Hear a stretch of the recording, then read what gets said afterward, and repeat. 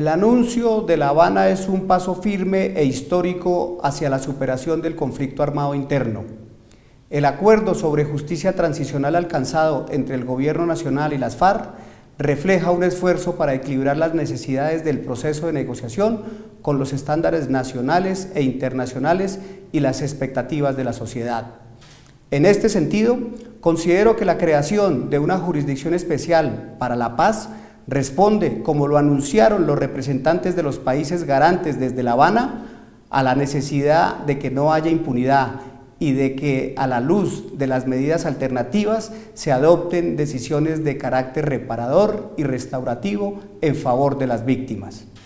La conformación de salas de justicia y de un tribunal especial para la paz con la participación de magistrados de alto nivel para analizar la comisión de delitos en el marco de la confrontación armada resultan una garantía para la sociedad en su conjunto.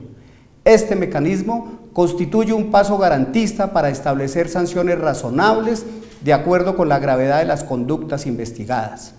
Celebro los acuerdos alcanzados para excluir de una amnistía o un indulto los delitos de lesa humanidad, el genocidio, la tortura, el desplazamiento forzado, la desaparición forzada y la violencia sexual.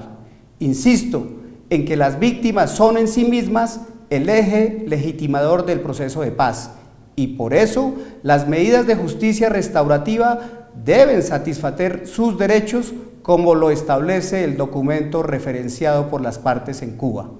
Desde nuestra misión constitucional, la Defensoría del Pueblo seguirá con atención el proceso de implementación de los acuerdos y vigilará el cumplimiento de los compromisos adquiridos por el Gobierno Nacional y las FARC en materia de justicia. Para finalizar, valoro el anuncio de una fecha cierta para la firma del acuerdo final, pues se trata del mayor anhelo de los colombianos que particularmente en las regiones apartadas del país han sufrido el rigor de la confrontación armada.